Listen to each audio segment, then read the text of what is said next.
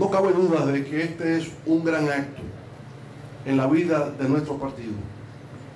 Es la primera actividad oficial de una secretaría de nuestra organización.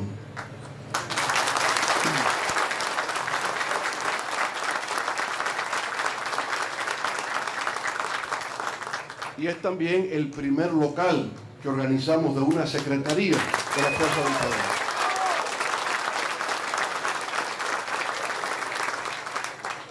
Y por supuesto, esto tiene una gran importancia para nuestra organización, porque como el compañero Freddy Pérez estuvo explicando, uno de los grandes desafíos que tiene toda organización política cuando se forma es cómo se organiza. El gran reto es cómo convertir esfuerzos individuales en una fuerza colectiva. Y naturalmente hay muchas discusiones de cómo hacerlo. Hay debates si se trata de un partido de cuadros, si es un partido de masas, la gran discusión que siempre hubo. ¿Qué tipo de organización queremos crear? Y para nosotros fue clave establecer tres dimensiones.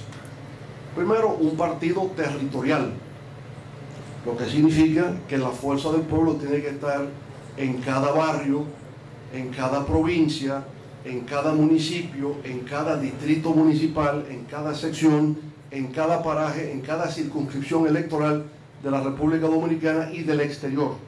Donde quiera que estén los dominicanos, tener una presencia. Determinar lo territorial es básico para tener una maquinaria política, pero no es suficiente.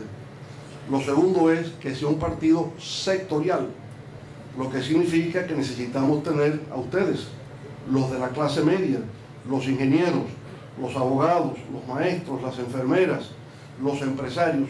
Un partido necesita disponer de esos distintos sectores que son los que contribuyen a multiplicar el efecto de la opinión pública. Un partido que no tenga clase media no tiene resonancia, no tiene conexión en la opinión pública, es la clase media que lo puede hacer. Y aquí, en cómo se ha organizado este local, yo siento la presencia de esa clase media creativa en la fuerza del.